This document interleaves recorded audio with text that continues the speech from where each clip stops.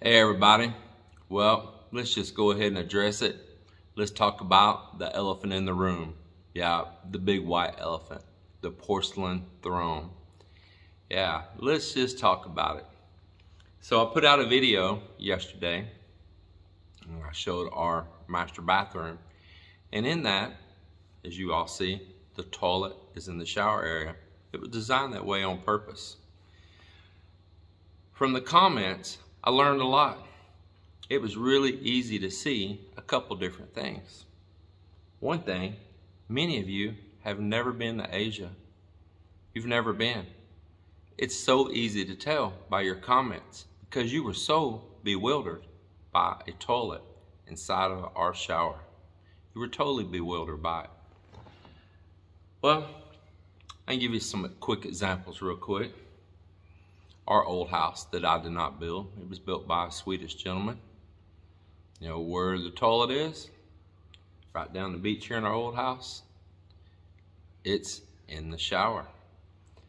Melinda's mom's house next door. You know where the toilet is? It's in the shower. This afternoon, while you were all viewing that video, we were out with our friends Tim and Christina and they were showing us their house they've been remodeling and adding on to over in Iloilo and Jaro. Guess where the toilet is? It's in the shower. It's very common. Some of you know. I noticed people like Edward that commented down there and a few others that it's part of the Asian culture. Thus it tells me that you all don't know the Asian culture. So you might be dreaming of coming to the Philippines or other places in Asia, but you act so astounded by mild changes that are different than your Western life. We're going to talk about it. We're going to address it, and I'm going to tell you my point of view of it. You can have your point of view, but I will say this, and I'm going to be a little harsh on it. If you want to come live in Asia and you want to be a part of the culture here and you want to fit in here, you better become adaptable. You better be willing to adapt. You better be willing to see things different than you know in your Western society. And not all the West is the same as the United States and Canada as well. Other places in the world also have the same culture. So let's address this issue. Not an issue for me, but apparently an issue for you an issue from the culture that the first thing that happens when there was a world problem is run and go buy toilet paper. Your number one worry in the world. Not food, not coffee, not gasoline, toilet paper for your butt. Sad society, sad, sad. Meanwhile, when all that happened, we were here in the Philippines and went in supermarkets. The aisles were full of tissue they don't call it toilet paper here, it's tissue because it's used more for wiping your nose than your bottom. Yeah, no problem here because they clean themselves with water. Yeah, I know it's kind of taboo, it's strange, it's exotic, it's foreign to many of you in the West. But not all the West. Again, there's many places in the West that also have that same type of setup. It may not be exactly the same. It might be a, a bidet. Japanese, the French, little deal comes out, psh, sprays water. Some people use the old bum gun. Yeah, do it manually. Yep, yeah, the super soaker. And, you know, you might miss a little bit, get some water in the floor. Well, what's it gonna hurt if the toilet is in the shower? Yeah, the wet area anyway, right? So, uh, nice little things as we're gonna talk about this is, in our situation and throughout Asia here, even a lot of the hotels that was here for years before they decided to westernize to satisfy you foreigners, you expats to come in and you want to feel so westernized in an Asian country. Pretty ironic, by the way. Uh, you want to leave the West, but you want to bring the West. I'll back up and say something else there too. In Texas, I keep hearing Texas say, you know, don't California my Texas. Well, um, and they'll say, you know, um, people will be coming into the U.S. from another culture. Don't come here and try to change our culture. But then you go to another place, and what do you try to do? You want to make it like back home, and you want to make it like the West. Well, I didn't. My house is not built like the West. Um, I might have cast my walls and made them stronger and stuff, but I adopted a lot of Filipino way that's actually pretty common throughout a lot of other nations, once again, outside of the United States and Canada and some other Western nations. It's pretty common build practice. Um, it's it's going to be called um, like uh, column and fill and pier and fill. You're, you're gonna it's going to be post and beam, and then you're going to use a filler like hollow block, or like I did, solid cast concrete and skip the hollow block. Well, other than that, this home's pretty typical built of the Philippines and of um, cultures outside of the United States. And the same our shower is as well. Now, for me, I like it, and that's why I put it in there. This was a choice that I wanted. And let me explain it to you, and we're gonna go in there and let's have a little look. So here we are. We're in my master bath.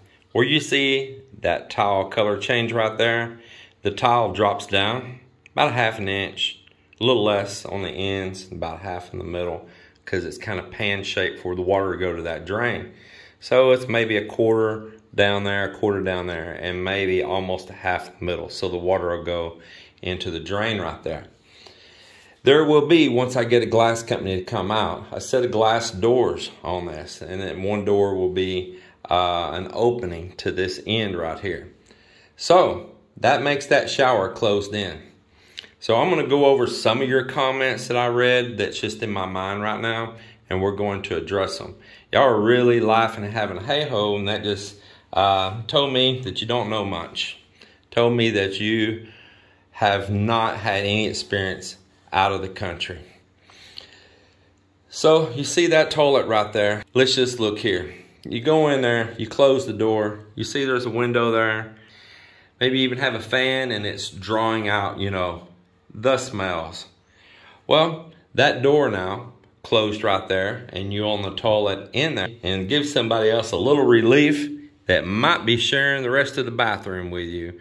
Or maybe you don't want all that soaking up in your clothes somewhere. You know, because some of you, whew, it can be bad. Nobody's smells like roses. Nobody's does. And they say if you're going to build a house this big, it should have had its own private room. Well, it's a big structure, but it's not as wide across as you think.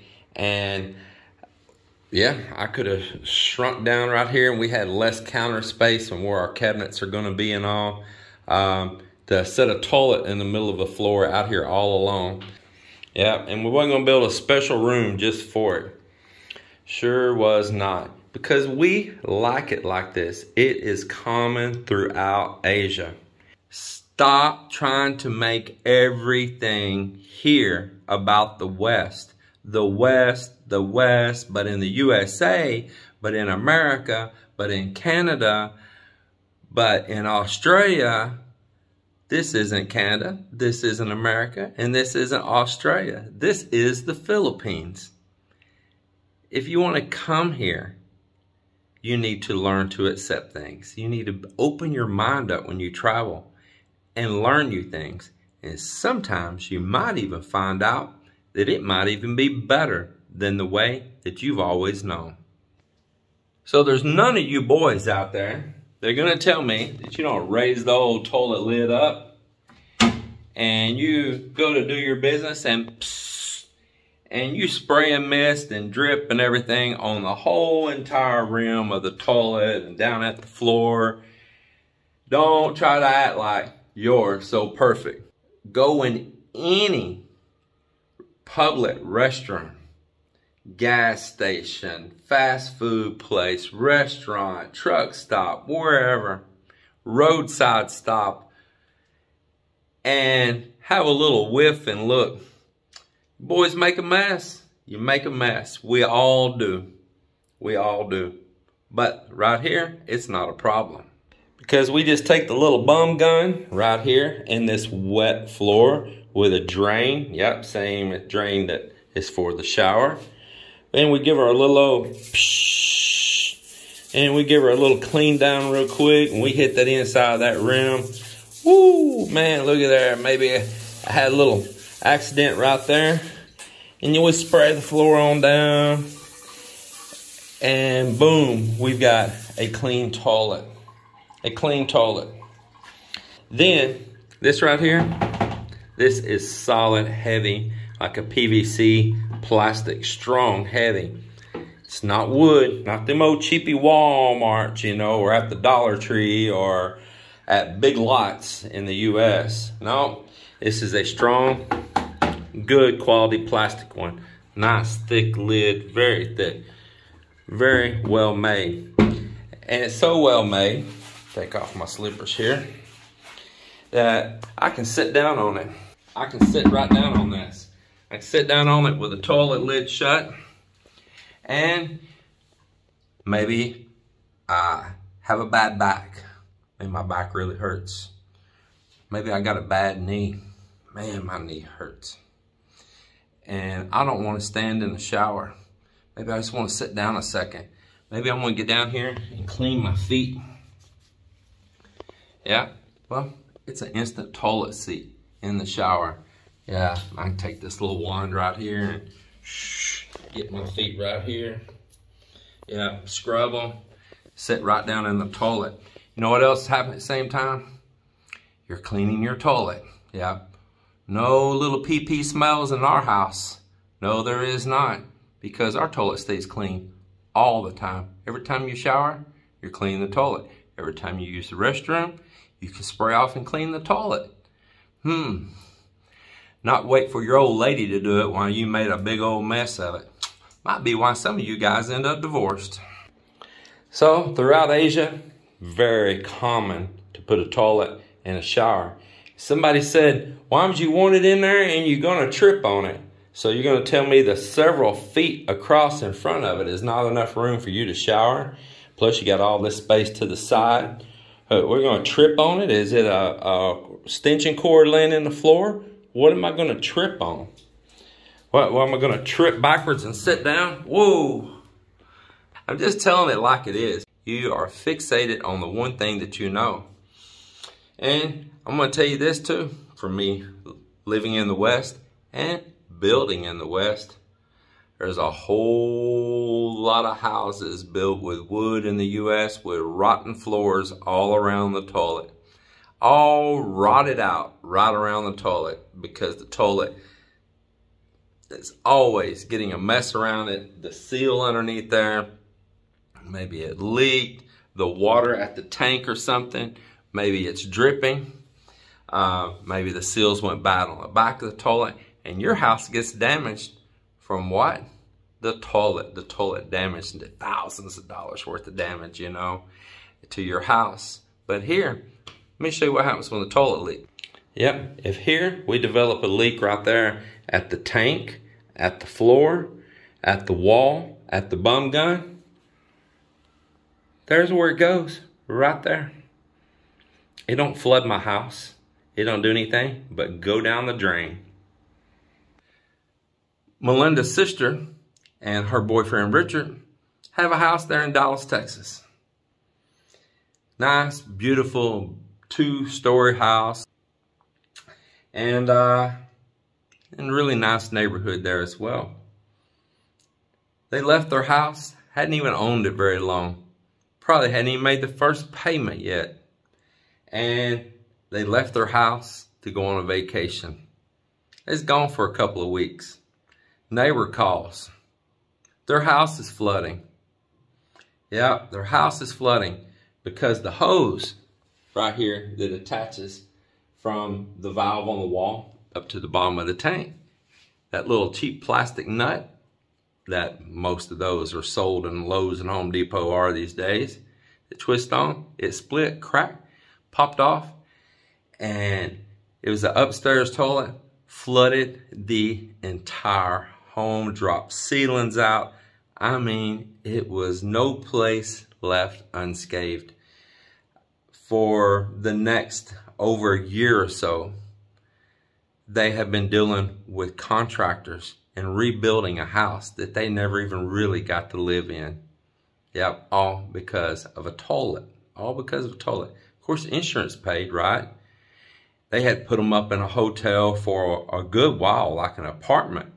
And, um, and eventually they came back to their house. They were tired of living in that hotel situation and continued to live in the house while it was worked on with construction going on and all this being drug out forever, all over a toilet. But we won't be having that problem. Any kind of leak, go straight in the drain. Say if that drain overflow, there's a secondary drain. You know, me not so stupid after all. I have no shame in it. It is just very common in this country. I like it. It's a space saver.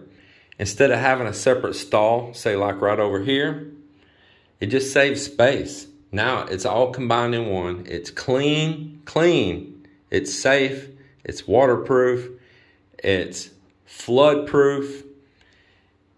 It's more hygienic. And it's dual purpose.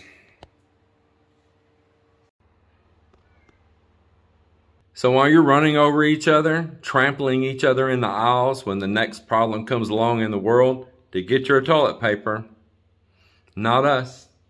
We're going to be in there in our nice clean restroom, spraying water, cleaning our butt a good hygienic way. Um, not spreading it thin. not spreading peanut butter on some bread. And just, just say it like it is. And uh, we're going to have our nice clean restroom, our nice clean floor, and we're going to be enjoying, sit down, scrub our feet, and be happy while you are posting on Facebook of the crisis that you cannot get toilet paper. Everybody, we'll see you on the next one.